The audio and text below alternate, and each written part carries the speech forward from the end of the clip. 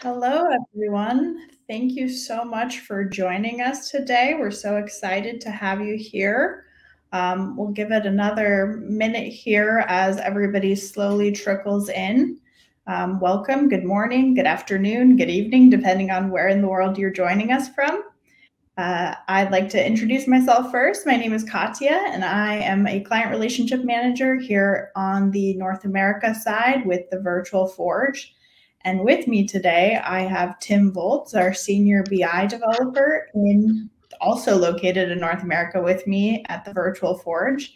Uh, you'll be hearing a lot from Tim today and a lot less from me. But as we have people trickling in, I do want to take care of some housekeeping items before we really dive into things here. So today, as you know, we'll be talking about uh, several pillars of best practices in Power BI. So we have a lot of information to pack and a lot of various chapters. Um, we definitely want you to ask any questions that you have and participate. So what we'll be doing is if you have any questions, please feel free to put them into the LinkedIn comments here live. And as we go through each chapter, we'll do a little Q&A at the end of each section. And we'll, Tim will give you a bit of a heads up as to when that is happening. Uh, any questions so far? I think we're doing good.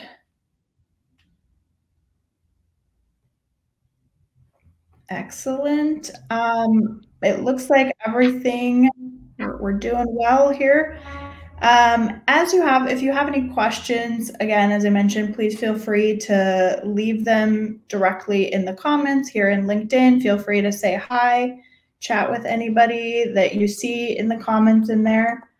Uh, and we'll give you a bit of a heads up as to when the question section will be coming up and we'll give you some time to put those in there.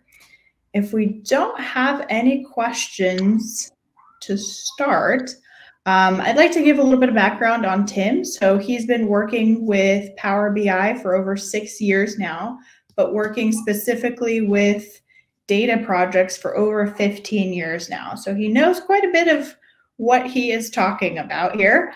And uh, today he'll walk you through uh, several different pieces of the best practices, as I mentioned.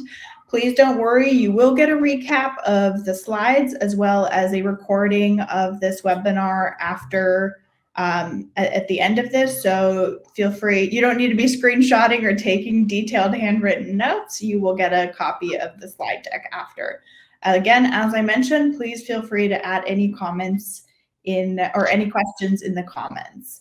Um, with that, Tim, I will let you take it away from here and I will disappear. All right. All right. Thanks, Katya. Uh, I want to just uh, second Katya's uh, welcome to everybody for coming out, and thanks for everyone to coming out today. Uh, we're going to talk a lot about building better reports with best practices. As Katya mentioned, this is me. You know, a lot of time spent in data projects and Power BI. Moving on here. Sorry here, my slide is stuck. There we go. Hang on one second, everyone. There we go. Oh, we jumped way ahead here. Not sure what's going on with the slides. So with the slides not paying attention to me, here we go. Let me get back to the slideshow here. Apologies for that. A little bit of a technical difficulty. Um, so that's not going to load. What we'll do is instead of, here we go. All right. In fact, I will just say to heck with the slides. We'll just start from here and we will keep with the agenda here. So what we're going to do is just we're going to go front to back here, taking a look at best practices, starting off with Power Query, moving into the moving into relationships, relationship building, uh, taking a look at DAX, looking at the visual side, and then a, a, quick piece at the end. We're going to talk about collaboration and reusability. All right, so what we're going to do is we are going to hop in and right off the bat, I want to talk really quickly about two things that you should always be mindful of when you start any Power BI file, and that is uh, knowing there's two options that you can set in Power BI. And I'll just flip over here so we can see those. And I have the file path there. You can get there through File, then to Options. And what we're going to look at here is down in the current file and data load, two things that often get missed. One of these is in the relationships. There's this auto detect new relationships after data is loaded. Can be useful. I recommend highly, highly staying away from this because Power BI will pick whatever it wants to, to do. If it finds a, a way to create a relationship between tables, it will, and it can create several at once. It can create a sort of mess of spaghetti going on back there. So I would recommend highly as a best practice, keeping it uh, unchecked, especially if you're starting out, it's good to force yourself to create these relationships. The other thing you want to check here is this auto date time. Now, for one, as a best practice, you should always be have you should always have a calendar table uh, in your data model, whether you're creating it via Power Query or DAX. It should always be there. Um, but unchecking this is very important because what happens is Power BI is going to create date tables underneath any table over here uh, on on our right hand side, any data table that has a date in it, Power BI will create a separate date table for that uh, for that specific table of your model. What that does is ultimately what that does is it's going to bloat your data model and you won't even know it. Just so you just so you're aware of that. Go ahead, I'm going to hop into Power Query. All right, and so what we're going to take a look at is a couple of different pieces here. Uh, where we're going to start off with, and you're going to have to listen to me just talk for a second here, is transformations. Okay, so what you want to always do is transform your data. And it's very tempting to just go here, you know, when you first start off, find the source that find the find the data source that you want to use, connect to that data source and just load that data straight into Power BI. I recommend against that. I recommend always, always taking the transform option, whether that's through here once you've connected or just going directly through here and opening up Power Query itself. Part of the reason for that is, is that when Power BI imports a data source, particularly from Excel, it's going to guess at data types. Sometimes it won't even set the data types and you'll just have mixed data types in your columns. Very important to note uh, that you should always be checking those as a best practice for sure. Always be checking on your data types uh, because you could have something that should be a number formatted as a, as a text or a string, you won't even know it until you try to create a measure and it doesn't work. It's going to drive you crazy. It's happened to me, you know, dozens of times for sure. The other thing too is that no matter how clean you think your data is, no matter how much time you've spent uh, on the back end cleaning things up, it's always good to just double check, make sure that your data doesn't have any anomalies. It looks like, you know, it looks exactly the way it should. and there, you know, there's just, uh, you know, just a few other things too. For instance, adding columns to your data. Uh, so it's much better to add them there in Power Query than to add them on the front end. We'll talk a little bit more about that shortly. But always, always, always go through Power Query. Power Query is definitely your friend. Uh, where I want to go next here is, so we talked a little bit about data quality and how would you mitigate that? Well, always, you know, as you load things up, again, I would recommend always coming up here to this to this tab up in here to the View tab there are three settings in here that allow you to check on your data. So let me find a good column. We'll take a look at something that's a little more variable here. Let's go with our unit price column. What we're going to do is, first thing I'm going to do is I'm going to check this column. To show us, it's going to give us a quick look here at whether we have any errors and whether or not any of these are empty or null cells here. The one thing that's really cool to note too is as you hover over this, it pops up this little window here that gives you those numbers. And if there were problems, you can click on these three dots and you have different ways to mitigate this very quickly. You can remove the duplicates, you can remove empty uh, empty rows, you can remove error rows, you can replace any errors in the column, all very, very useful things. You can even keep errors here if you wanted to go through and diagnose those. The other, the next setting here we have this column distribution. So column distribution is very good, is a good good uh, uh, value here, especially, here we go. So if you're unfamiliar with what is going on in your underlying data, for instance, if you're connecting to a new data source and you need to identify primary keys, that's really, that's where this really comes in handy. Now we know that this is a sales table, but we can see that we have a number of distinct values. Same thing, you hover over to see this, uh, see it in a little more detail. You can see that we have distinct values, which are you know distinct values in here, or we have unique values, which are values that are not only distinct but appear only once. Uh, when you have both the distinct, the distinct and unique values matching, so we were to head to a different table, for instance, uh, like a, a dimension table, you have a primary key. You have a key that you can use, and you can join. You can use that to create relationships out to your uh, fact tables in your data model. So just a quick note too: dimension tables, just for uh, anyone not familiar with the with the, with the uh, naming conventions here. Dimension tables are generally those tables that you want to use to slice your data in different ways. So if I wanted to uh, look at look at data by month, my the calendar table I would use would be a dimension table.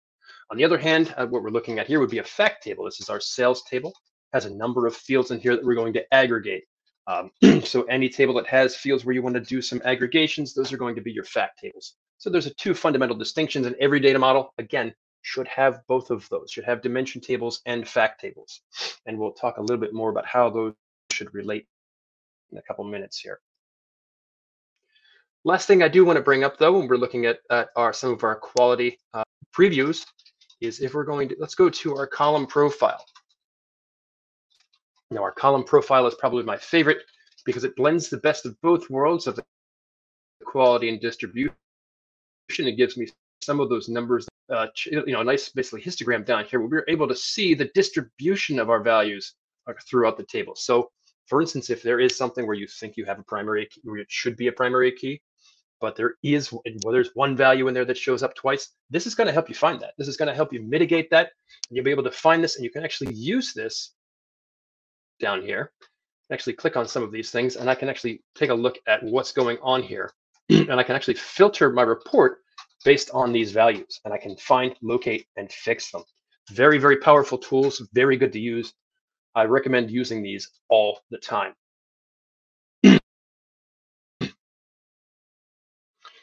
So the next thing I wanted to touch on here is, is when you're transforming a table. So these are tables that I've hosted that are hosted on Excel. I'm going to turn some of these off because they're just going to get in our way and make things a little slow. So keep things moving a little speedily. I'm going to turn those off and we'll come back and we'll talk about steps. So applied steps here over on the right hand side, every transformation you make gets shows up in the in this pane here on the right hand side. These are your transformation steps. What you want to do, uh, what you want to note here, these are automatic. This happened when I pulled this data in from uh, SharePoint, but additional transformations you're going to make here, it is very critical, very critical within Power Query. I think it is a best practice to always do the steps, transformation steps that are going to either reduce the width of your table by removing columns or uh, reduce the depth of your table, the number of rows, which is by filtering. Uh, part of the reason for that, why this is so important, is because of the way Power Query works. So Power Query itself uh, would be called what's it's what's called a lazy evaluator. So it'll go through its steps to figure out what to do next. Uh, it'll find the most efficient way to produce uh, to produce an end result, your end result of your as being your table what it tends to do is it streams data uh, through through steps uh, it, as much as it can. It streams data. When it can't stream data, it buffers an entire table. So you can imagine if you have millions of rows in a table and it's streaming. But I mean by streaming is if I apply a if I apply a filter, it's going to go row by row until it finds until it has all the all the rows that meet a condition that I've applied. So by making things smaller and narrower as a from a table perspective, uh, far better performance, significantly better performance. For instance, if we knew that, you know, right off the bat that we have no desire to ever look at 2017 here in our in our sales table, what we want to do here is we're going to go in and we can just apply a, a simple date filter and we can grab everything that's coming after. Yeah. Let's just pop. Okay, come on, filter. My filters are, there we go. All right, here we are. So we can say everything that's after, we're gonna put in uh, 12, 31, 2017. And we'll, we'll just filter that. And again, easy enough, filtered down, really easy. Also, just real quickly, if you do add a step that you don't want anymore, there's this X here. You can always just click on this X. That, that'll get rid of that step for you. here, whether it's by filtering or removing columns, which can be achieved through our home tab here. Uh, we have two options here to you know choose columns or remove columns. There's a difference here. So I always say this, if you know that your data set here, when you're removing columns, if you know that your data here, your sales data is never going to get any wider the table, I would say use choose columns. You can pick the columns because that's going to specify what columns get included. Any new columns that would show up would get excluded. Uh, alternatively, if you think that at some point down the line you think you're going to want to add some useful information that you'll want to use at some point for you know uh, measures or a visual down the line, use remove columns because that specifies the columns that you want to take out of the file and everything else stays. Just a quick note there as well. And then coming down here when we're talking a little bit more, one thing I did want to just kind of a little bonus thing that I, you know, we don't have on our agenda, but I did want to point out is how to keep things organized here. So I did, I do typically when I build a data model tables here. So if somebody were to pick this report up, they'd know what I, they'd know what I'm doing, they'd know what, how everything works. And to do that, we basically just right click and we can move to a group. You can either uh, assign a new group, or you can create a group that doesn't exist. You can create groups that don't exist yet. So that's very useful. Also here too, you can always in your applied steps, you can rename your steps so it's clear what's happening. Even uh, more useful is you can right click on any step and go to properties. And then I can leave little breadcrumbs here. And I'll just, you know, this is a breadcrumb, I'll click OK. And then what happens here in Power Query is you get this little icon here and somebody can hover over, just hover over the step and they can see what your what kind of notes you left there, what sort of breadcrumbs you left for other people. Very useful. Uh, one of the last things that we want to take a look at here, though, is a calendar. And I mentioned this, this calendar, having a calendar on your data model is extremely useful. So there's a couple of different ways to do it. I like it as a sort of base level here where you know when we're looking at calendars there's a couple of steps here. Uh, you can you can find this generally you know everywhere in pretty much everywhere in the power bi community if you're looking for it. This is the one way to do it where effectively what we're doing is we're specifying a date here uh, to start and that's going to correspond with the dates that i want from the sales table. List of dates and typically what you want to do is you want to get dates based on the duration between the current date, which can be, which is actually this uh, function inside of Power Query, datetime.local now, gives the current time on your machine. And then we have our source step, which is our initial date. So it's going to give us a list of dates. It's going to convert that because what happens is it comes through Power Query as a list. So what you want to do is convert it. We're going to rename our date column, and then we're going to change the type of that column so it's the correct type. Now, one of the things that's also worth noting here is if for any reason Let's say you're taking your data from a database and you have a date time column. One of the first things you need you should do is get rid of the time component because that is very uh, that, that takes up a lot of space in the memory to, to have a date and time together because it creates a lot of unique values. So what we're going to do is we'll just get rid of that. And then to create your table, I'm just going to replace that step. And then what we're going to do, now that we have our date properly formatted, when you want to add to the table or add to your date table, you go to the Add Columns tab. and over here, through the UI, you can do most of the things that you want to do. So we let's say we want to know uh, the year. We can click that and we get a year column. And do this, because if you if you have another ancillary date, let's say we added the start of the year here, for instance, and I kept this column highlighted, then clicked here again, it will always good just to make sure you come back here. But again, you can use this to add as many fields as you want, as many fields as you think are useful. So we can add a month number, you know, we can add uh, the name of the month.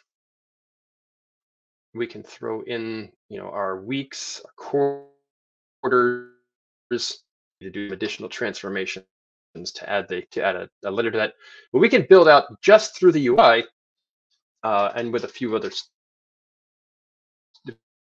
just a few other uh, steps here. You can build out a very robust calendar that's going to let you do a lot of uh, a lot of Power BI and really works well when you're doing transformations, especially for time intelligence.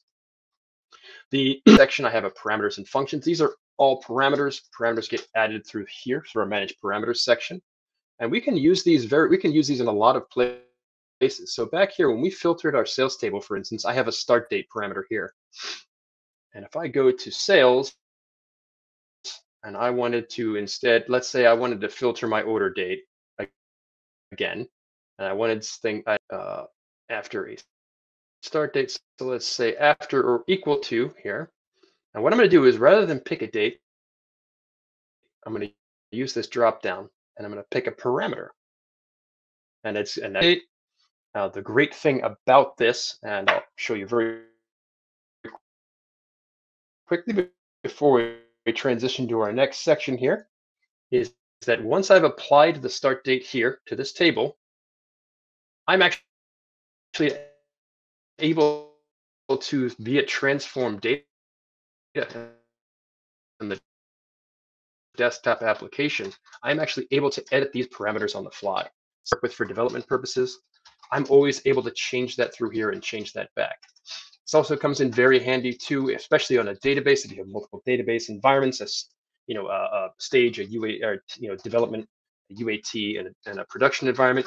You can use this too for source connections. You can switch connections very easily on the report. So parameters, very, very, very, very handy tool here. All right, so heading back over to our deck, and we're going to transition to questions in a second. Just wanted to recap.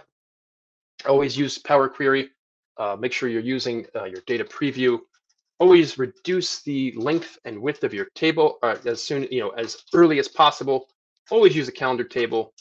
Parameters are great to use if you have uh, things that change frequently, like environments, or you want to change the date filters on the fly uh, for a particular table. Parameters work well there.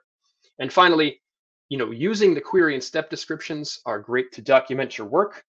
Uh, we will take a brief moment here for any questions. All right, so um, I see a I see a really good uh, question here coming through. Um, so uh, somebody had mentioned uh, using the calendar functions, for instance, inside of in uh, on the DAX end rather than the rather than Power. Yes, I just saw that. Yes, that is an excellent excellent question. So I tend to use Power Query. The reason I use Power Query to create a table rather than DAX, and kind of stealing my thunder when we get to the DAX section, but no, that's that's fine. Um, the tables created in Power Query are subject to compression. So as as you import the data, that table data that data gets compressed as it's going through, and it's a very powerful compression algorithms that very very uh, really shrink the data footprint. Uh, tables created via DAX the you know and there's nothing wrong with creating a calendar via DAX. The only thing to keep in mind is that a larger calendar created in DAX doesn't uh, pass through the same compression algorithms because it's created after uh, after those after that import runs. So what happens is a very large calendar, for instance, with you know, let's say 20 years of date, uh, 20 years of dates in it, is going to potentially bloat the data model and may impede performance. So I tend to say I tend to lean towards Power Query in this sense, in this way to create my to create my tables, only because you can leverage the leverage the algorithm. All right. Um, let's see. Do we have any other questions? Yes, then that is exactly what I was saying. Calendar and calendar auto work. Calendar auto, the difference is calendar is a very good function. Calendar auto is going to create a calendar based on every, uh, uh, basically every date that's sitting inside your data model. Okay, so real quick, back over just, here, head back over sorry, into sorry, our Tim. deck. Real quick, let me just jump in and here for head to our next section. Just a quick one. um, it looks like we have a bit of a delay happening. Yes, uh, there's there's about a three minute delay happening between what we're presenting and what you're seeing on LinkedIn. So please feel free to, again, just reiterating, post questions as they come up for you, and we'll keep rolling through them so we don't have chunks where we're where we announce questions and then we're we have dead space. So feel free to just post them as they come up for you, and we'll get to them at the end of each section.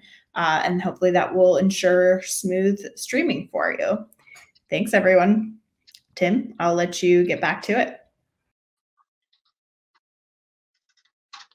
All right, thanks, Katya, for that little note here. All right, so really quickly, wanted to talk a little bit about relationships. Uh, there's only a few pieces here to really touch on. We're going to kill off this thing here because I made that change. It's going to just annoy us. All right, so here we are in the relationship tab. uh, a couple of things we want to touch on here.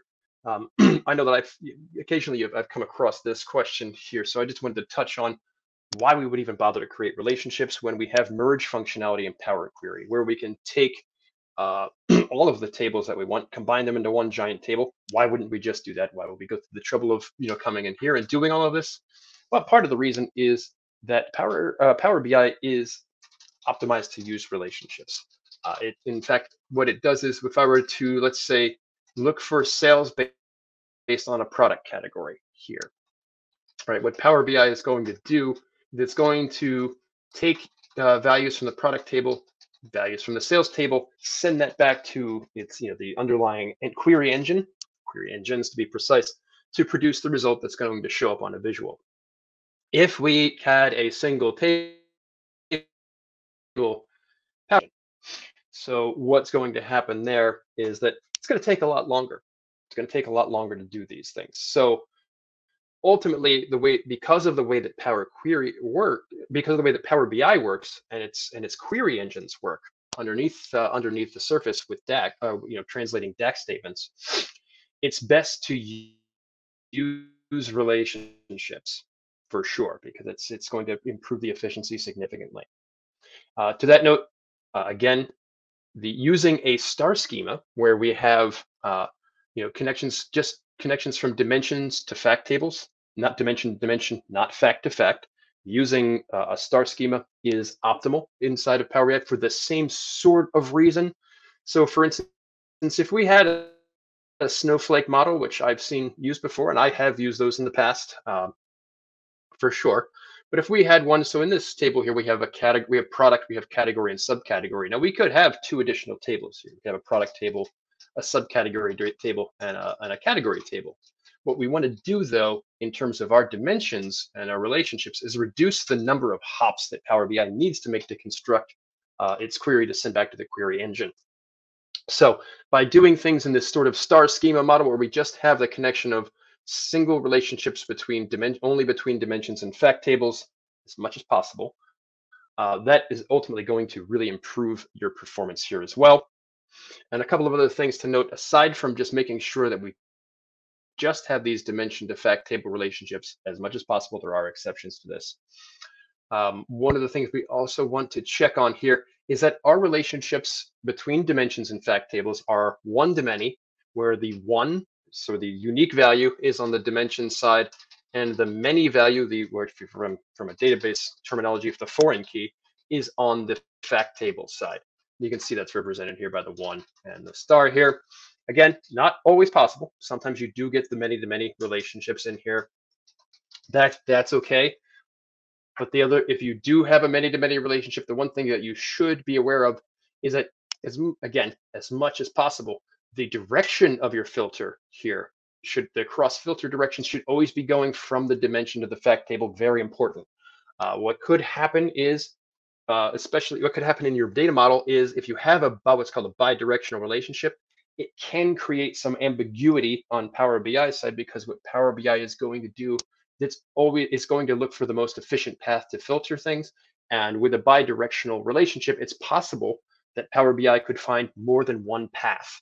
Uh, when it finds more than one path, it does get very angry, and it will tell you that it found more than one path here. So at the end of the day, the just the best thing to do is try to avoid bidirectional or you know both having a filter flowing from fact to dimension and dimension to fact. Try to avoid that as much as possible because you know at the end of the day it can produce some oddball results. So just to reiterate here and, and address any questions um, so relationships between tables always better than merging uh, relationship should uh, always be between dimensions and fact tables in a fact in a star schema, and as much as possible, we should leverage a one-to-many relationship. So let's see if we have any questions from the audience.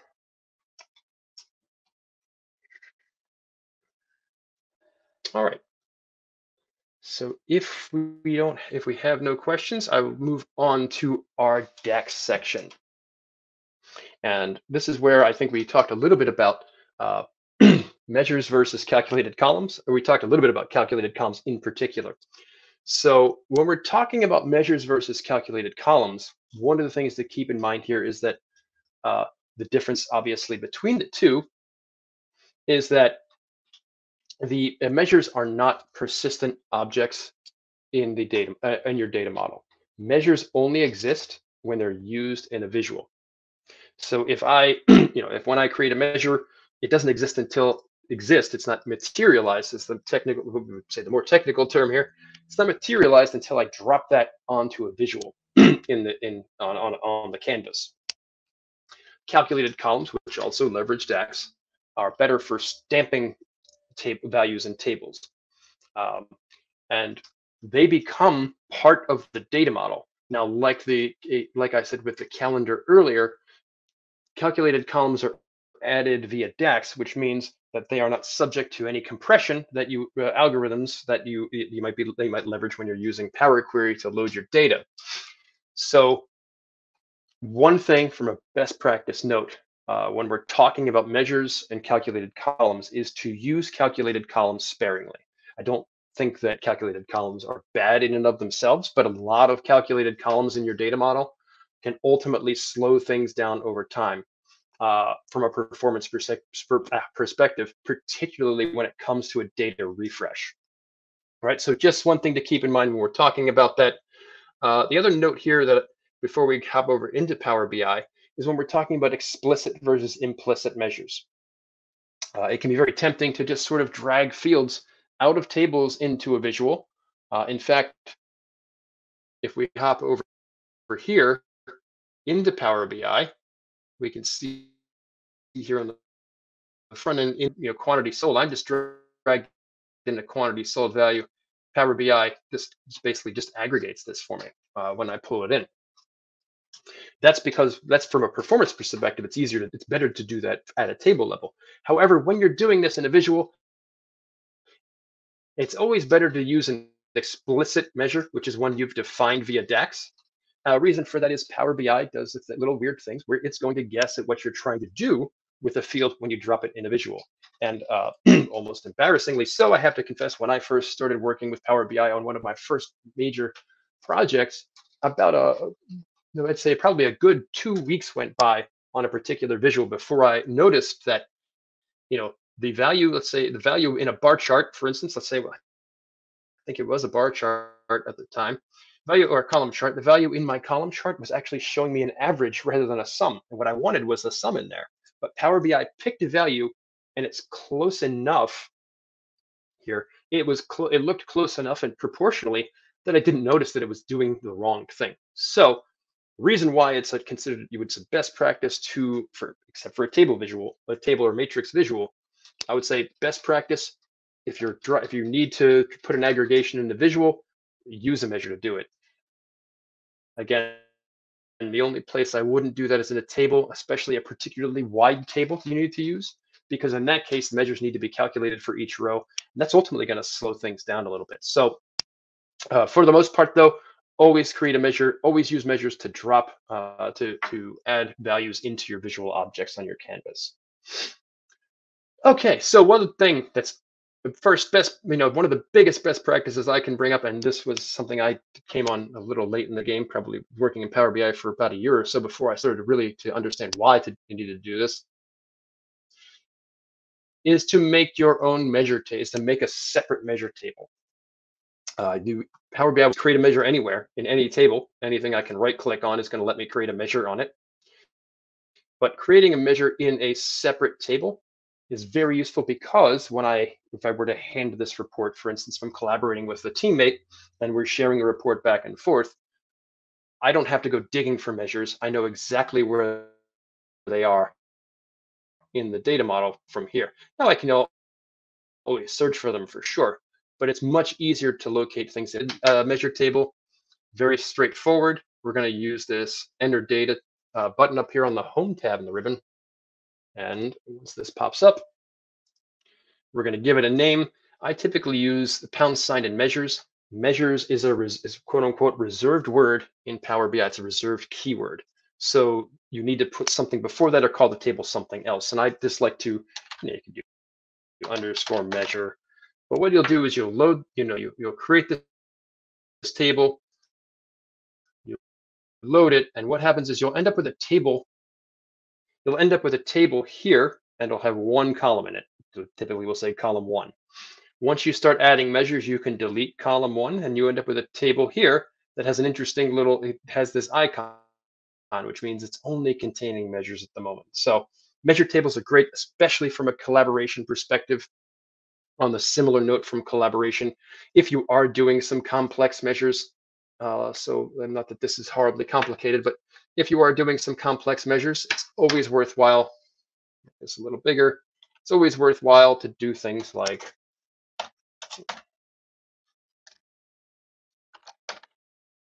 comment your code. Because this way, again, from a collaboration perspective, you can put inline comments in code that's very useful, again, when you're handing this off to people, just like in Power Query, when you can add comments to elaborate or clarify some of the steps you're taking. Very similar here. You want to, if you're doing, especially if you're doing something very complex in your in a, in a measure. So that is a use. That's just one note there that I wanted to point out. A couple of notes on DAX itself. A couple of best practices that uh, always come to mind here. The first one is when we're talking about division. So let's grab a let's go grab a quick one here. So when we're doing when you're doing division any kind of division in Power BI, it's always always always better to use the divide function. Um, and why why is that rather than a slash or the forward slash you would typically use elsewhere? Why is that? Well, Power BI is optimized to read the divide function.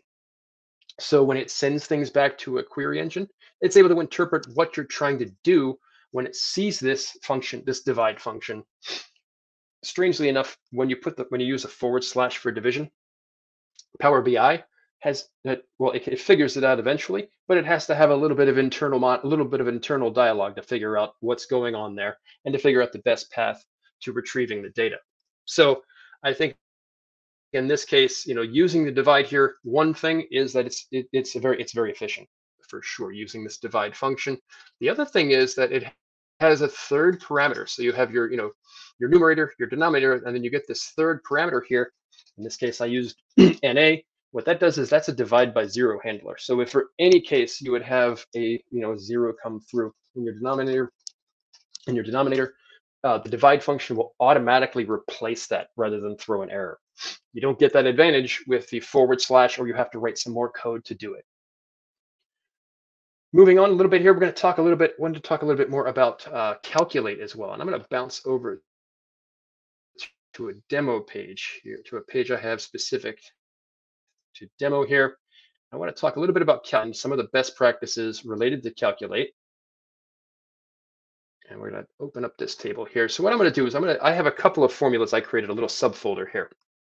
And I want to take a look at different things that using the calculate function and talk about filter context. Calculate is very good uh, if you're unfamiliar with the calculate function.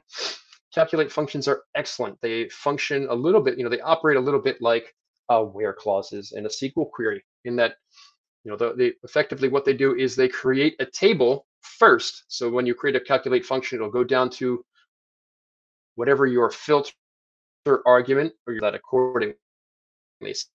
So in this case, you know, what we're looking for is uh, clothing, clothing sales. I only want to know about clothing sales. So we've filtered the product table. We've used this function filter. We're filtering the product table. And once that's done, once Power BI understands this, then it goes back and calculates the total sales for clothing. Now, the thing to understand here is the way that some of these filter functions work, and it can get a little strange. You can definitely get some uh, well, let's say odd some odd results from this uh, with without without knowing it. So we'll take a look here. So we'll take this, we'll drop this in here first. We're going to drop in our calculate filter, and you can see here that's doing what we want it to do. That's just going to give us our clothing here. All right, now we have an, another sample here, and I'm going to show this one. So what this is doing is you can see what's happened here. It's given me a result that I didn't quite expect. It's given me 1.7 uh, 1.7 million dollars, which should be, which is our clothing function. You can see here our filter's working here. It's only giving me what I want for clothing. But here, what the heck's going on? Why is this repeated? Well, it's because I've used an other, another function here. So what the all function does is it tells Power BI that we're stripping off everything uh, from every external filter coming into the product table. And we're always only ever going to re return uh, a sum of, the, of our total sales for clothing. So regardless of what the category is over here on the left, it's always going to give me the value for clothing. Uh, and this, so I have another sample here too, calculate with a very simple filter. I'll drop that in. That's just a direct filter applied. Now you can see what, what happened here. This is a very common construction, by the way, very common where people are, uh, you just filter, you don't necessarily need to uh, use a filter function to specify the table. You can just filter on a column directly in, in Calculate and it fills in the gaps. The thing that's happening here though, and you can see the results uh, under the hood, is that this construction here is considered what's called syntax sugar. It's shorthand. And what it's doing under the hood here, when Power BI translates this, is it's functionally identical to this. Now, the best practice, if you want to, rather than write this type of construction, a best practice to avoid any kind of bizarre result like this is to use this instead. So keep filters. So the keep filters function, if we drop this in, it's going to have something very similar to our first function, or uh, to the first example, first example we used. Our keep filters function is going to preserve, it's going to apply a filter here, and it's going to look, it's going to respect filters that are coming in from the outside. It's not going to give us a total for that for sure, but what it's going to do is it's not going to give us a bizarre result here that we get for these two in the middle. So it's just worthwhile to understand how the filters are operating when you're working with Calculate. The other piece that you want to also note here, and we'll go, I'm going to go back, back to our, our summary page. And I have a formula here. um, now, if I introduce variables, for instance, into formulas, variables are very useful. And you can see I have a variable here that I'm using to configure a, a title, a category title on some of these reports. We'll see why in just a second. But what I'm doing here is when I'm using variables, because I have, I want to use this here. I want to look at my the selected value from a particular table here, which means that's getting passed into into my into my into my switch statement here, which is just a way a shorthand way of using a, a complicated a nested if statement. But rather than use this over again, because every time I use a measure in Power BI, uh, Power BI is going to calculate that measure. That can lead to some overhead. So what we do instead of using the same measure over and over again is you can use a variable. And what variable does when I use variables is it's going to lock this value. That way I can reference this variable again and again throughout the rest of my formula here. And it's going to retain whatever was locked in the first place. Power BI does not need to calculate this over and over again. And in a lot of cases, you're going to get significantly better performance out of measures that way. Now, the one exception to this rule is if you're using calculate. Calculate has a very strange way, not, not that anybody would ever do this uh, particular type of formula, but just wanted to use this as sort of a sample. Power BI will do a very strange thing when you're using calculate because it's what it's doing is each variable has its own quote unquote scope, which means that Power BI fixes the value and then moves on to the next variable. So in this case, we're looking for our month to date sales and it should match this current month revenue card here. But what happens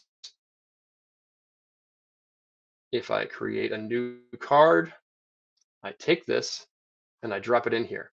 We get we get something that's matching this, which is actually corresponding to my date filter.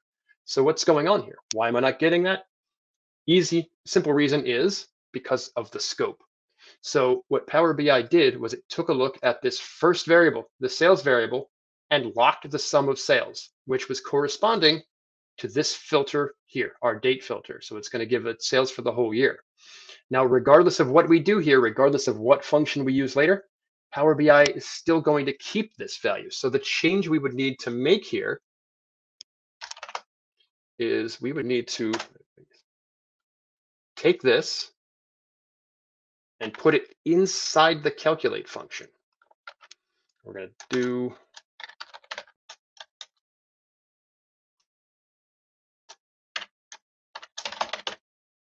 And so once I do that, and we're going to lock oh, this actually, sorry, I went to current month sales. Let's take that out, out of here. Yeah, I didn't like that. Yeah. Take this, take it, drop it there. And we're going to see what that did.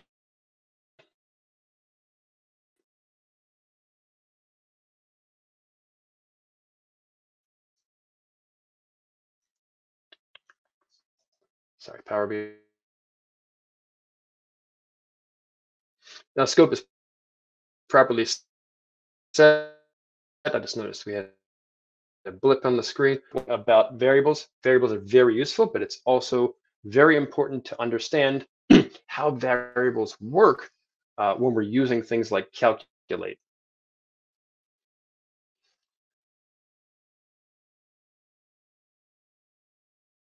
Oh, let's go back to DAX. So again, just to recap, before we hit any questions that anybody may have, uh, use the calculated columns sparingly because they add size to the data. And one thing to note too is because of how calculated columns work, that they're they're only calculated whenever the model refreshes. I should have added that earlier, but they're only calculated whenever the model refreshes. So they are poor candidates to use for aggregation. Measures are always the way to go for aggregation. They respond to filters.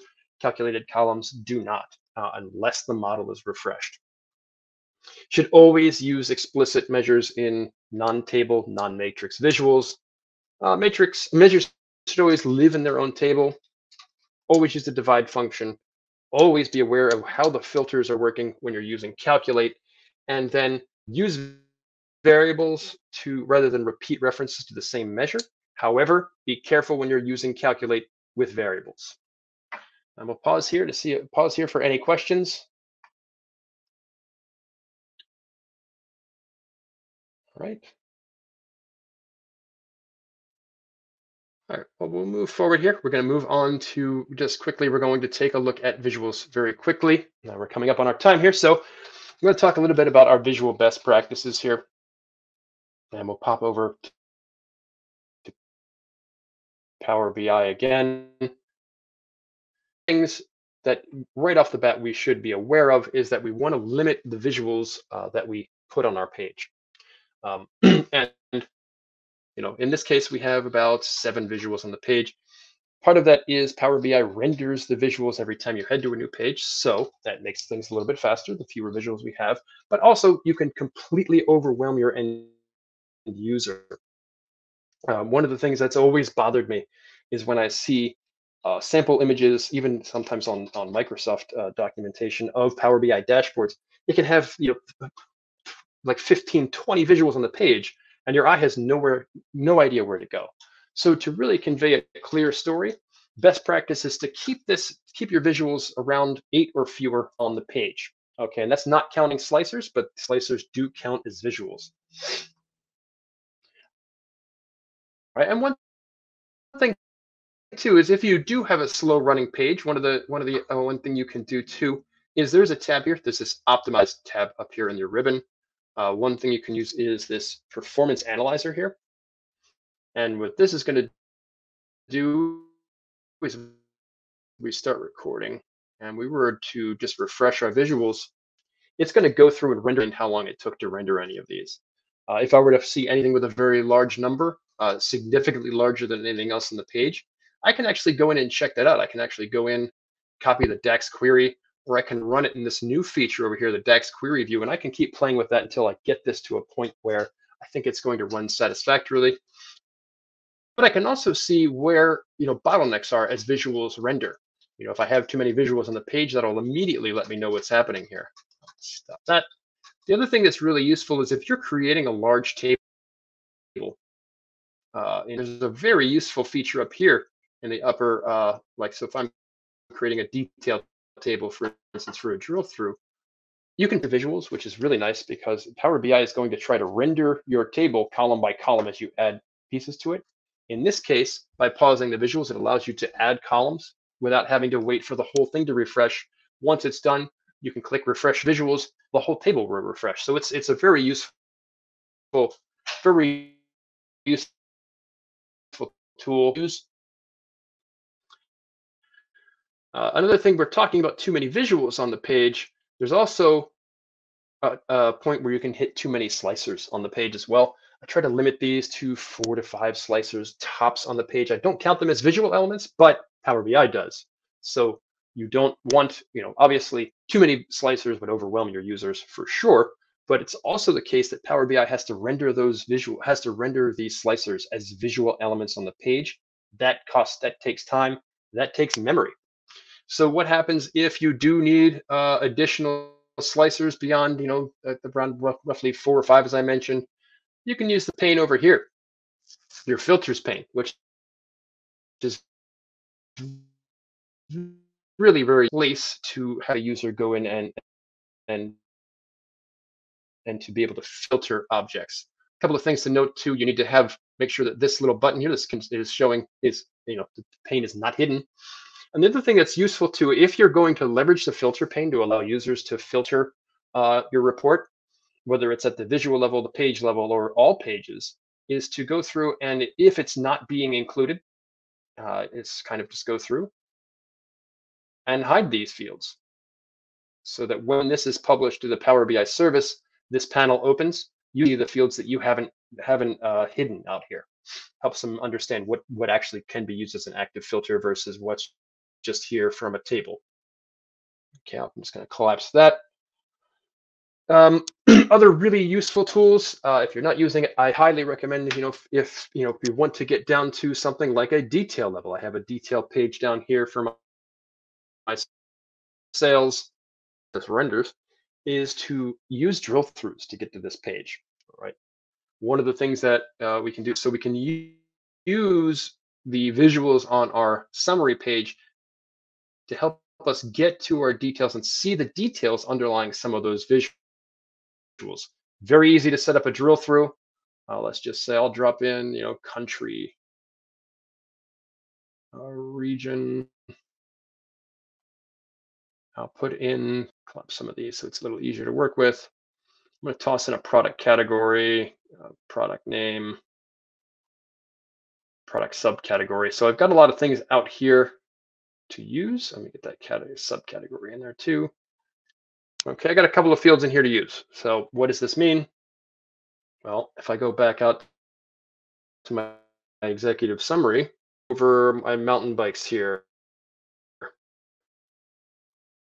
and I can right click, or I typically I can either right click or hover. Sometimes it comes up on hover.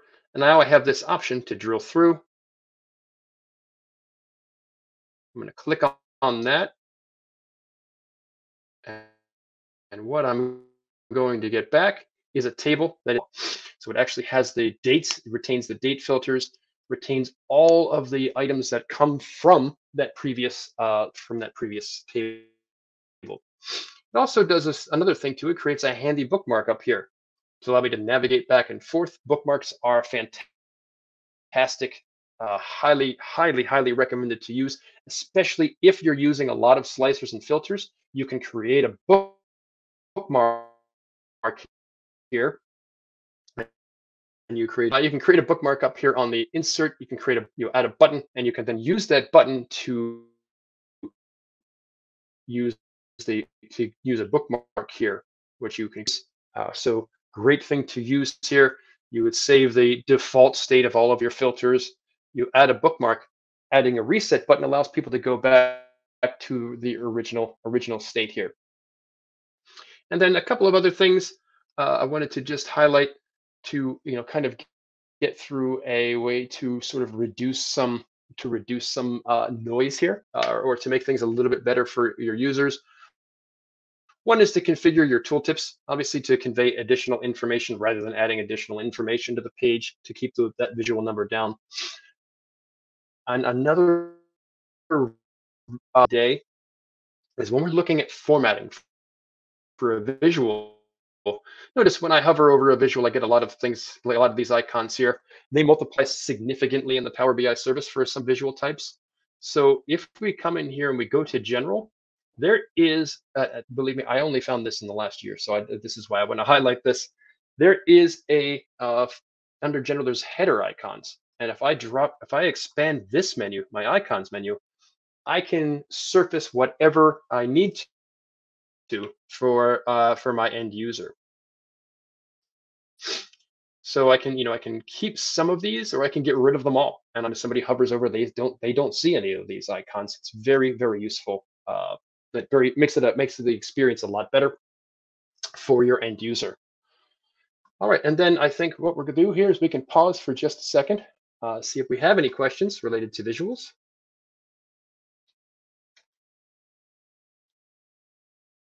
And if not, we'll do, um, let's give it another second here. All right. Uh, and what we'll do from here, uh, if not, is we will wrap on uh, collaboration and reusability, a couple of different things just to just to think about when it comes once the report is done and you need to share the report or there's other reusable pieces to it. We have a couple of options here. One is a way to collaborate with teammates uh, to move your files back and forth, whether it's through source control or you know SharePoint or you know whether Google Drive, whatever. Uh, two ways to really do that effectively are these PBIDS and PBIT files. PBIDS files are uh, pre-wired to have built-in source connections.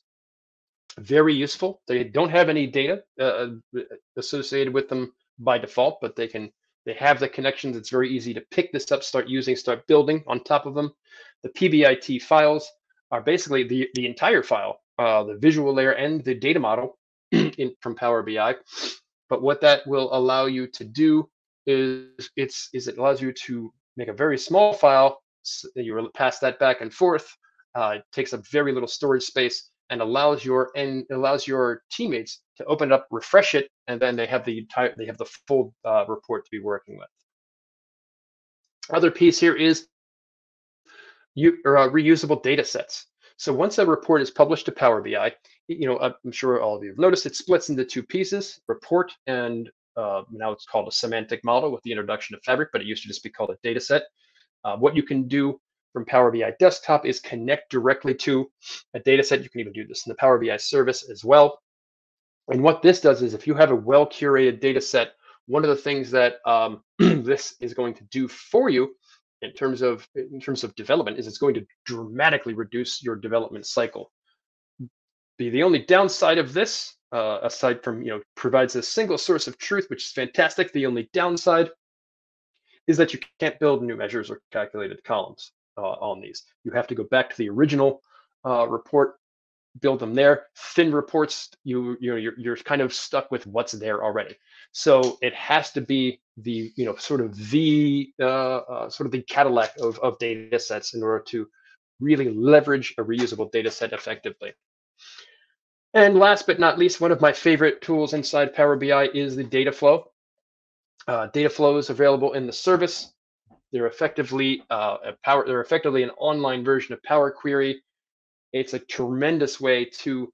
It gives you the sort of the benefit of a reusable data set, but allows you to pick and choose the tables you want, and you're not constrained by any limitations related to measures. You basically can you you sort of have a, a I'd say a menu to pick from, and I like to you know I've often done this where you have a dimension uh, data flow and a fact table data flow, and you can pick and choose what you need to build out your report. Very, very, very useful tool. Can be combined with any other data source to build out your reports. Very, very good stuff. Uh, and again, online Power Query has all the same functionality. Actually, has a, a, slightly better UI that I've read. I've read recently is coming to the, the desktop application. And with that, wrap up here. I did include in the deck here a number of uh, additional resources to check out here. Uh, some of these are just you know some Power or some Microsoft uh, you know blogs, community blogs, uh, and other things here we have here are you know, tools developed or blogs developed by different users. Uh, there's SQL BI, tremendous DAX gurus, Chris Webb's BI blog. Chris Webb uh, was a tremendous, uh, wrote a number of tremendous articles about Power Query. He's now branched out into uh, Fabric. He's a, he's actually a, a, Microsoft developer. He's he's really into the uh, really deep on the Fabric side of things. Havens Consulting also really good, uh, particularly in terms of new pieces that come out in Power BI. Uh, and then the last here is Ben Gribaudo. Ben Gribaudo has a Power Query, free Power Query primer online, which is fantastic for anyone looking for more uh, information on Power Query. All right, and with that, I want to thank everyone for coming out. I hope this was useful. Uh, we'll kind of open up here if there are any questions. Uh, and if there aren't, I uh, just want to say I really appreciate everyone coming out. Thanks so much. Thank you so much, Tim. And thank you everyone for attending. We are a bit over our time, so we will let everyone go, but uh, our team will be here for a little bit. So if you want to leave any comments that you have or questions in the chat, we will continue to answer those. If you have any specific questions, please don't hesitate to reach out to us directly via email. And that email address is on screen there. It's connect at thevirtualforge.com. We also offer consulting services in Power BI. We offer support, we offer training. So if you or your team is interested in either some one-on-one training, team training, there's various levels uh, that we can get into, as well as if you have any specific Power BI projects that you're interested in getting some help with, please don't hesitate to reach out. As mentioned at the beginning of this, you will be receiving a copy of these uh, these slides as well as a recording of this webinar for you to kind of pause and play around and see things happening live. Uh, with that, thank you so much for attending, and we look forward to seeing you at our next webinar. Thanks so much, everyone.